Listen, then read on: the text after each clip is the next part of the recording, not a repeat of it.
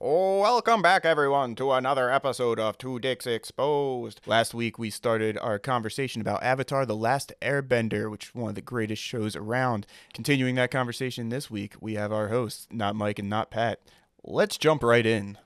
Uh, Sorry, you were talking about favorites. Uh, so um, favorite, uh, we did favorite Airbender. Who's your favorite Airbender? Zaheer. See, oh yeah, Zaheer. I I forget that he's Or an Airbender. Meelo.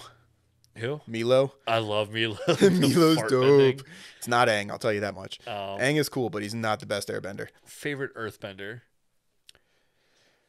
I feel like you have to say Bumi or Toph. It has to be Bumi or Toph. They're Like, the, literally the best. It has to be either Bumi or Toph. Or Bolin. Even Bolin is Bolin is Bolin bae. is my Bolin bae. is back. When he got lava bending, yo, Yes. my god, God. that I'm so fight pissed. was talk about incredible. a character that, That got was- shitted on the most though. they built him up to become like a like amazing in season three in the Zaheer season, and they they nerfed him so bad in season four. They really did fuck him They were up. like, They "You're did- taking this prime specimen of a man Earthbender, yeah, like of a man and of an Earthbender, and in season four, you're making him a lackey in fucking Hitler's army." yeah. Which, let's be honest, season four was World War II.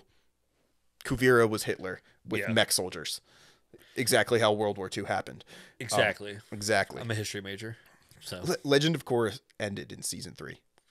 With Yeah, Korra Zaheer- poisoned and hating life. See, I don't hate season four, but I do. I I I I, I think it's because like season two was so bad that you have to like seasons one, three, and four.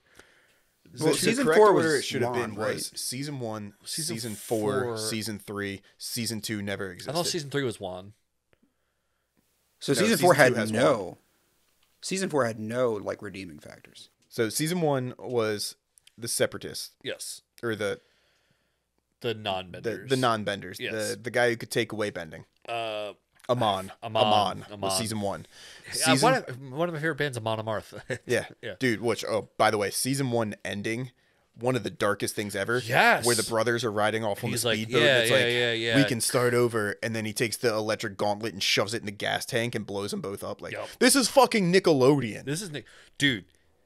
Um, We'll get there because like that's dark, but not as dark. The the the episode that got them pulled off Nickelodeon was, Was- in season three. when Zaheer sucked the air out of the Earth Queen. Oh my god, I remember like being like a teenager and like we would talk about like airbending Mm-hmm. and I'd be like, yo man, and you would like, man, if I was an airbender, I would just like take the air out of their lungs if they took a breath in and then like flash like flash forward like twelve years later and they animate They that. animate that? like her face turning purple, her eyes going Dude. bloodshot. I was like, I remember watching it and like literally being silent. Just Yeah. being like, oh that just happened.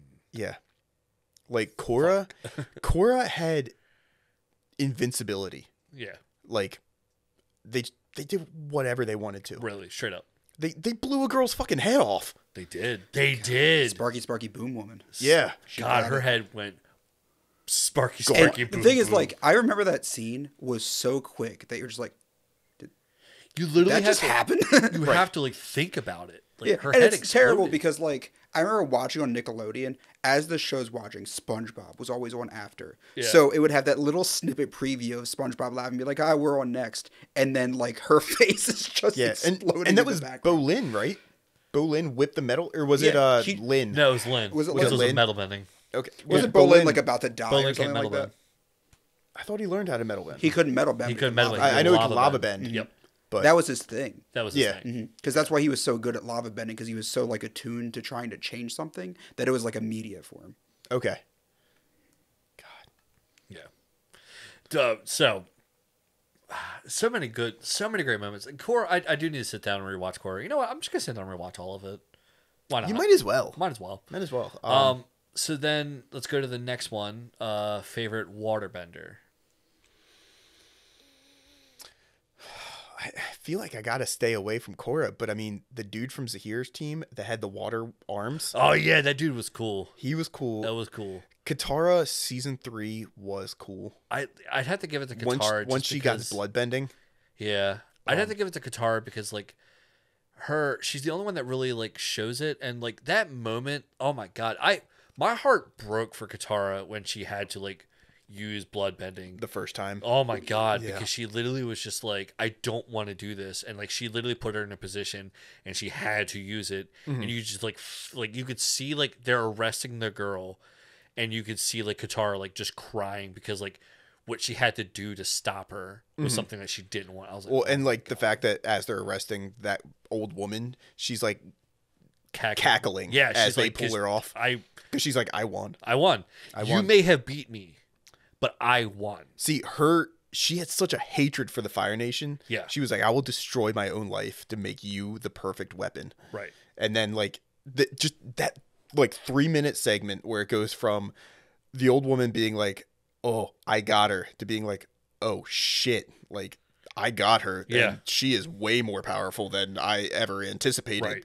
To just like she is way more powerful than like just Yeah. that transitioning that's going through that person's mind and which is also like horrible. So Avatar universe does this great job of taking a person and making them human. Like no one's bad, no one's good. Everyone just experienced life. Like that old lady was Katara's mom's best friend Yeah. growing up and was in jail and like falsely imprisoned and tortured for like 30 years before she finally killed all of the jail like Yeah. guardsmen and broke her way out and then lived in like solitude in the forest because she was too afraid to go out. Like that would turn anyone fucking crazy. Do you want to talk about like characters that like you- you're bringing this up like characters that are good and evil? Like it's like a it's it's it, it it's drawing that line that morality line, right? Like we know Ozai is inherently evil, right? Right. Because his plan at the end is like just to burn. I'm, I'm just gonna kill everyone that's not Fire Nation. everything. right.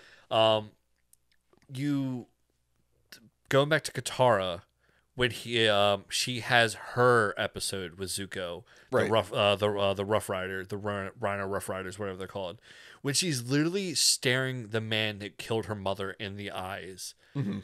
She he's like she's like, I can't like, because I feel like on a level she's like, it, this is like this yes, I am. It is your fault that my mother is dead, but it's not inherently like it's your war. It's wartime. Right. Like you are doing what you were told to do. Your your your your Ozai passed down a thing like we're not taking prisoners this time. Right. We're not taking prisoners. If there's a waterbender there, kill him. Kill it. And she had to like look this man in the eyes and was like, I forgive you. I, I. I mean, he was you, like an I- old, broken, Yeah. Groveling man. Oh yeah, because like he was like living with his mom, Right. uh, stuff like that. And he was begging for it. Yeah, he, was, like, so "Just broken. Please kill oh my me. God, Like yes, kill me. he's You- like, I I resent being who I was back then. like, like, like end me. like, right. I always think it's funny that like the core story of the Avatar is to break the cycle Yes. when it's about a cycle. It's a like let's cycle. just end this. Um, I did want to put in my two cents though. Favorite waterbender, Swamp People.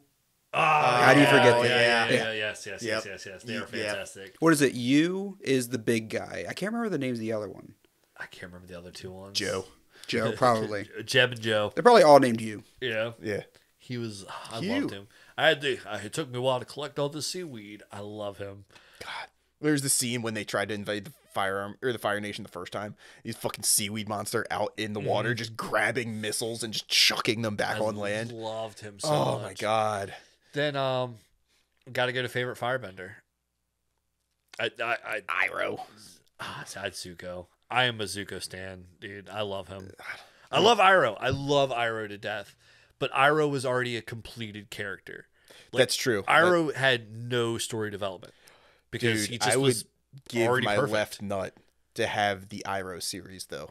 Oh my god, yes. Give Yeah. me the series where Iroh Like, I know what happens to his son already, and Yeah. I will cry during that episode. Oh, episode. dude, I will cry. Like I cried during that episode even now. Like the uh what's it called? Um uh, Ta- Uh, Tales from the Tales Vine. of Tales of Ba Sing Se. Yeah, but uh Tears from the Tears Vine. from the Vine is the song. Tears from the Oh my Oh god, I'm my tearing God. up. And then the, the worst head. part is like that's the episode dedicated Did to him make- yeah, because he oh. passed away. Yeah, I think that was that the last episode he worked on, I- or did he record every episode? I think he up until finished season two, Yeah, I think season two was, but yeah. like that was the episode that aired after, After he passed away. So they tacked away. on like the in memory, loving memory of Oh because then they brought in the new voice actor for season three, When he and who re- refuses to sing uh, Tears The from guy who sings that, he refuses to sing that the, the, the voice actor for season over. three that took Yeah. over, he was like, I will not sing that because that is not me. This is to honor, you know, uh, Mako who I came respect the before me. And he was like, that. I will, I will not do it. so like fans ask him all the time. Fans ask it. him apparently during like panels, and he's just like, no, I, I won't. Oh, good. Yeah, because he's on. Um, I think it's what's the cameo, like the thing that a lot of voice actors do. Okay, Yeah. Like yeah. he's on there in his description. He's like, "I will not do Iroh. Like I know you want it. I will not do Iroh." right. Like that is not his Mm-hmm. character. He was just like I had to like it was- bringing closure to, To a character. like Yeah. a friend, you know, pretty much. Yeah. Um, Oh my god! But I, I'd have to give to Zuko because, like, everything about him, like his like his fire breathing, like to keep himself warm, all that stuff. it what Did- it's the scrappiness. did Korra even have like another main firebender besides yeah, Mako? Mako. I mean, besides him. Uh, Iroh. Oh yeah, different Iroh, but yeah, yeah. he wasn't really like main No, he really character. wasn't in it. No, I didn't like Mako. I, I thought he was cool in like season one, but then he was just like so whiny. He's so whiny. So I'm whiny. like, oh my He's like, god. "Ugh."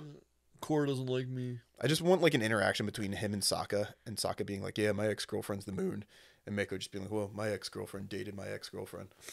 He'd probably be like ultimately nice. married. Nice. What I like about what I do like about Korra so much is that like Mako, the pretty boy, blah blah blah blah. Like he gets he gets um Korra, he gets um Asami, Sa- Asami. Um and then both of them realize like, "Oh, you have no like re- like you're just pretty. redeeming factors. Yeah, like you're- you're just pretty." Yeah. And they break out with him and they get together and then Bolin ends up with the uh what's her face? Uh, with Airbender girl, yeah. Toph's granddaughter. It is Toph's granddaughter. Yeah. Yeah. I wonder how Toph felt about his one of her children being like one of her like descendants being an airbender. like, God Uh, damn it, like, Twinkle Toes. Fuck it, now I'm a dick. Oh, Like it, it, it's it's fantastic. Avatar: The Last Airbender, um, and Avatar: The Legend of Korra are definitely worth watching if you haven't watched them. I do have to touch on like two other shows real quick before we end. okay. If you haven't watched them, please watch uh, Dragon Prince. Yep, same Yes. studio. same studio, uh, same creators. I think uh, it's, Uh, yeah, yeah. same. Yeah, And also, if you haven't watched it, please, please, please, please, please. I love the show with a passion, but please watch Voltron: Legendary Defenders on Netflix. Uh, You not done by the, same, people. feels, but, but- it's the same animation animation Same. studio. Yeah, same studio that did the animation, but it like the people that made Korra were on Voltron, Mhm. and they they carried over all those feels. I mean, Varrick, um, who's one of the best comedy characters in the entire series. Oh my god, easily. Yeah, easily. Which that voice actor passed away too, He did. No wait, Rhys Darby. didn't he? Rhys Darby's not dead. The, well, the voice actor for Varrick was the guy who was in Pitch Perfect, right? Yes. Rhys Darby. Is that his name? Rhys? I think it's It doesn't sound right. It's R H Y S. While uh, Or maybe I'm getting the wrong person. No, Rhys Darby is the Australian John man. Is the Australian? Yeah, he's Yeah. the one that does the co-captain in Voltron. Yes, yes, yes, yes. okay. Oh, The co-captain. wait, he's still alive though, right? He's like the whatever the guy that was with the queen. He's still alive. Yeah. yeah. The- Yeah, Rhys Darby. Um, Hello there. John Michael Higgins. It says. Oh yeah, yeah, yeah. yeah. Yeah. I'm, I'm getting the voice. Very, I'm, I'm getting, I'm getting the voice He's still alive too. Because he, he Who died? The same- 'Cause someone died. The dude that was in Pitch Perfect. He is still alive because that's He's John still Michael alive? Higgins. I thought he passed away. there was a character that died. That that I I know I know there is someone that did pass away Because it was like a wow, he was young. Kind yeah of it thing, was a, yeah, Yeah. a Yeah. young person because I remember everyone coming at me being like oh it was like you know blah blah blah from Voltron I was like Rhys Darby there's no fucking way No, because he was just in that show with um, Taika Waititi, He's like Our in Flag Means Death. Yeah. Yeah. Mhm. Um, but I, I I hear it in my head now. Like I'm I'm listening to um Very similar Coran, voice. Coran, Coran. Coran, Coran, the the spaceman, and Yeah. then um Varrick. But Varrick has like that like it's that 1940s like Zhu Li do the thing, but like Mm-hmm. when you hear Coran like oh but it- it's got that Australian The, the accent to twing it. to it. Yeah. Yeah. So I got a twink. bonus question for you guys. Bonus question. Bonus Favorite question. non-bender. Oh, I can tell you my least favorite. I think Jet's useless. Yeah, Jet Jet fucking sucks. Uh, Jet had a fan. Another character that had a great fucking character redemption arc. He literally like stayed behind so that um they could escape from. Uh, he had a great redemption arc, but he had a horrible story. Yeah, I was gonna say horrible it's, it's hard like not I to be redeemed when you start at zero. Like his story is like he. It, it's again. It's a. It's a. It's. What if Jet had just met Aang and the gang after the events that followed, where his family was murdered by the Fire Nation? Like, That's fair. He lit like he is a product of like everyone in that story is a product of their environment. Jet is literally like I literally witnessed multiple time Fire Nation soldiers killing people and torturing and murdering people. Like we need to like end them. They're all bad. All of them are bad. Right? No, it's a very very realistic Yeah. backstory that I can get behind. I just I don't like him. Yeah, no. The, But you were completely skipping over the best non-bender. It's the Cabbage Man. the cabbage man. Well, no, he's a cabbage bender. It- Yeah, he, Okay. he's the cabbage bender. The Cabbage bender. It's my favorite non-bender. Ty Lee is great. I was gonna like say Ty Sokka's, Lee. Sokka's teacher. Even Solid. Mai. Oh my God, I don't. I don't hate Mai. She's like very monotone There's and so stuff. many but like, good non-benders in the I was series. say, Right. what's the Bang's other son that doesn't bend? Bumi. Bumi, Yeah. who becomes an Airbender. Bumi. Yeah, he does become an airbender. Yeah, but after he's like already a decorated war general. There's Yeah. the girlfriend of the main mm-hmm. character, or one of the main guys in Korra too. Asami. She's not a bender. Asami, she's, she's, not, a bender, but she's like a master martial artist. Yeah, master martial artist and a like fantastic like f- like genius. Like, Right. She just th- thinks of It- things like, like, that's another spot. thing that the Avatar universe did is they wrote strong women characters without Yes. being like I'm writing a strong woman character. Like they were just like I'm gonna write a strong character. Without doing Oh, yeah. what Marvel Endgame did. exactly. Yes. Like they didn't have Okay, all women in one. Picture, all women in one place. We're gonna have a massive team up real quick. Like no, they were just like Hold on, we're gonna need one man in here. Yeah, yeah. But also shout out because we didn't talk about this. because Katara and uh, Toph alone carried the Aang gang. Yeah, for sure. Oh yeah. Yeah. But the Aang gang couldn't have been anything without Momo and Appa. Yes. Yo, Like, that my god, the animals. The animals, The like animals. Pabu, Pabu- Momo, Appa. What's the uh, dog's Nala? name? Nala. Nala. Like they had so much personality, and they didn't say a damn word until you Can get to the we talk hallucinations. about- It's- okay, well that's great, but Yeah. the cutest animals by Oh. far, top two, I know this already. turtle ducks, mm-hmm. I love And- bugs. baby sky bison. Baby sky a bison. monster. Mm-hmm. Yeah. oh my god. But when I saw the baby sky bison, I literally turned from like what I was trying to be a super masculine, like 22 year old man to just like, oh my god, I want that. He's so cute. Oh my god. Like I, I reverted back to like a three year old getting a stuffed animal. What Avatar And- does fantastic is everything. Honestly, it's everything. They do everything fantastic. Yeah. But not only do they have strong women characters that like are just they stand on their own. Mm-hmm. Katara and Toph have like um, many episodes or part of episodes where they're by themselves or the episodes centered on them. But like unlike The Simpsons, where like if you have a Marge and Maggie episode, I don't appreciate your tone, it's sir. skippable. Th- Those are skippable episodes. But like when you have like but female centric episodes in Avatar, like they don't like they're they're fantastic. Uh, uh, Like they don't feel like they're pushing an agenda. no, yeah, like, There's when- nothing in these shows that feel like they're pushing an agenda except for like the War's bad. agendas that need to be pushed. yeah. The Right. war is bad. Stop war. That is literally like the war sucks racism sucks Yeah. like uh national propaganda what's that called where you get fucking brainwashed it's it's not just propaganda it's um nationalism. national yeah is that it? Nationalism. okay Yeah. yeah like i mean that was a heavy portion of season three of avatar where Yeah. they're hiding in the fire nation and everyone's just like oh yeah we saved the world it's like oh my god good out there. the fire nation's the Yeah. fucking united states of america Yeah. um Um. like There's so many. Like there's so many things, and, Mm. and like, like even in real life this is sorry side No, story i'm going to take us out of the universe real quick so Bryan Konietzko and michael DiMartino obviously were they both went to animation studios and stuff like that. So the i can't remember which one did one which but one of them was more of an animator while the other one worked on storyline. Right. they were like friends in high school split up went to different animation studios bounced around a little bit and all that stuff. And then they finally got back together and they're like hey remember that thing we were trying to create back in like high college? Let let's do something to this. And they were both like all right well there's this studio over in like south korea or something like that they're like we both worked with them we think they're great. And they like went and toured it and they were looking at some of like the doodles that they were doing and they were like why aren't you actually drawing this? Like Right. this is so much better than the stuff that like regular studios are hiring you to do.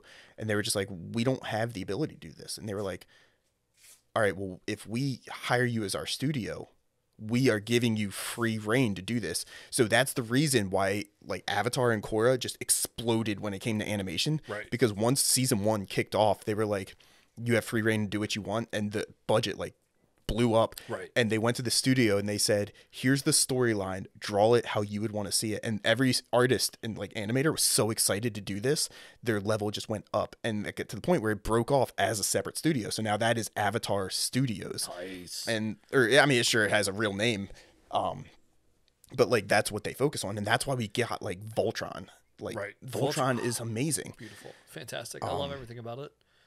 all right so i mean like obviously we can talk about avatar you know f- fucking forever Forever. um but like so for all you people that haven't watched it for even the people that have watched it um you probably heard a couple years ago avatar got picked up by netflix and they signed on the two creators uh michael DiMartino and Bryan Konietzko and they were all game to make live action avatar with their input and it was going to be a lot of like just retelling the story but live action Right. which all of the fans honestly were super excited about Yeah, we just want the st- we we don't we just want the story. we want something to just do justice to the story right.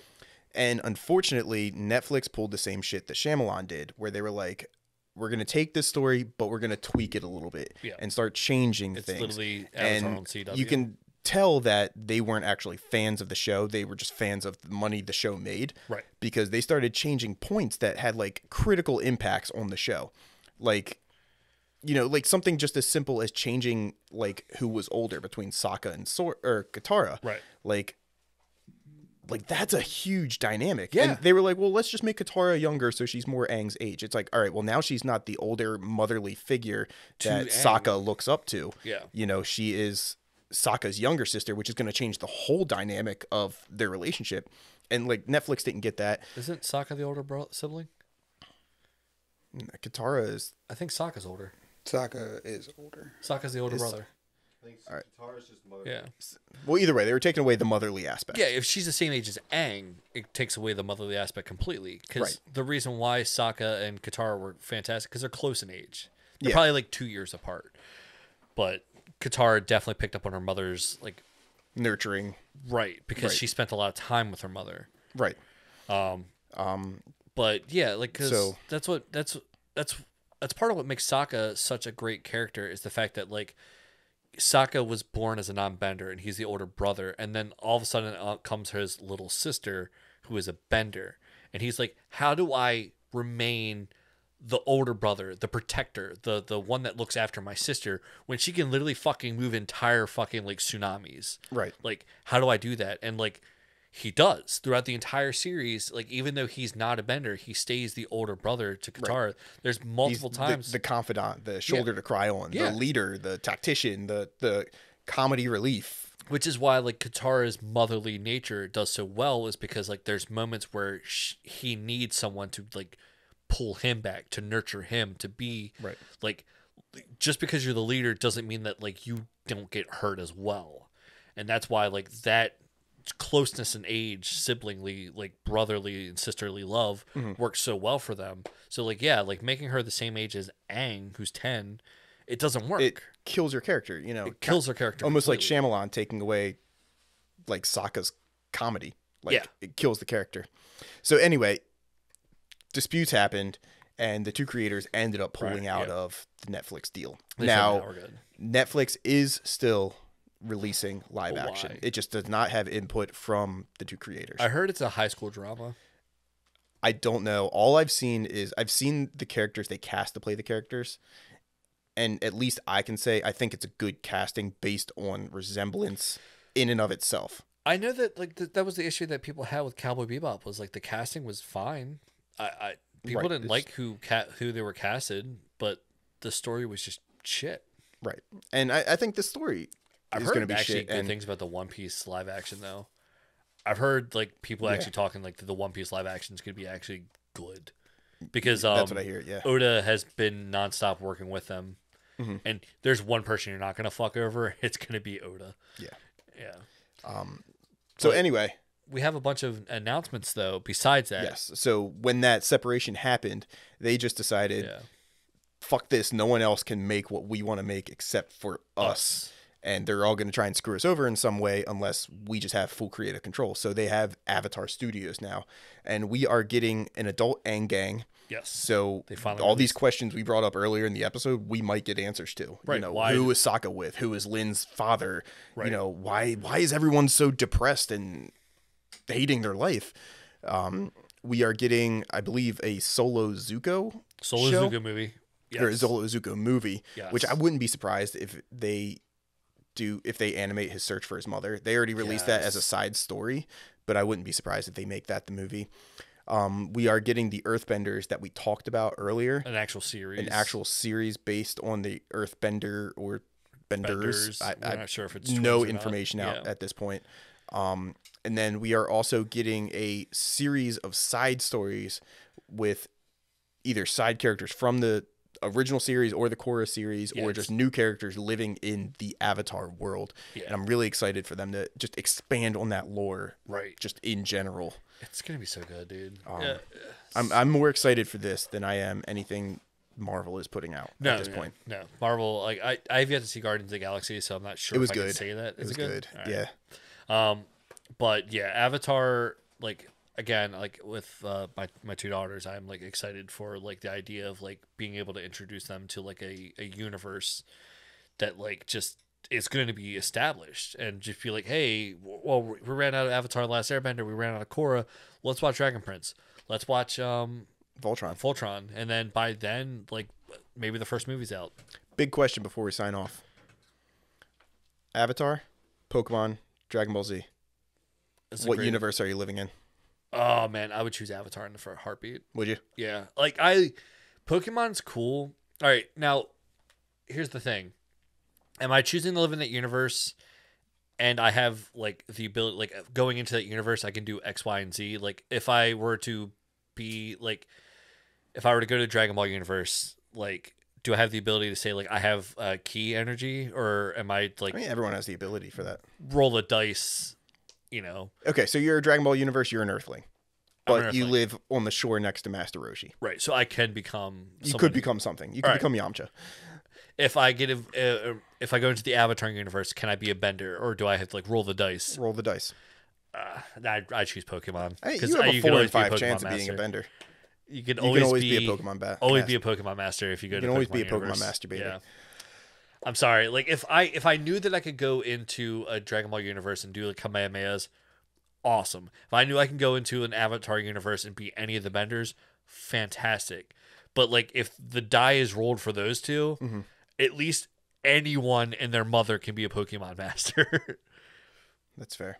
anyone can like you just go get a Pokeball, Let's let's go throw it at a Pidgey. And you get to stay 10 years old for your whole life. Yeah, for at least 25 years. at least twenty five years. At least 25 years. All right, all right. Quick question, then we'll cut this out. Would you rather be Sokka, Professor Oak, or Yamcha? uh, Sokka in a heartbeat. Dude, Okay. Sokka Two kings against Yamcha. Sokka Hey, pulled. Yamcha can fly. Sokka pulled, dude. Sokka did good for himself. Sokka, like four girls were after that D. Yeah. Five. I'm sorry, one turned into a moon. He literally, like, He interacted to the moon, like man. five different girls were like, "I like that." I'd, I'd hit that. Yeah. Still one of the best lines. in the Oak only series. pulls one girl. Sorry, Oh, you don't know that. and that's a that's an old. Oak has a whole thing where he sends every child away from his hometown and Oh gets with all them moms. he's he's actually Ash's dad. Yeah, Yeah, 100%. but And that's we're gonna end our Avatar episode with talking that. about so, uh, Sokka pulling tail. Sokka and Professor Oak getting some. Yeah. But uh, until next week, guys. Until next week, guys. All right, see ya. See ya.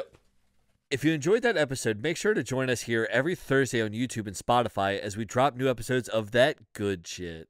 And don't forget to give us a follow on Instagram and TikTok for some solid filler content to get you through the week at Not Mike, Not Pat. You should be watching.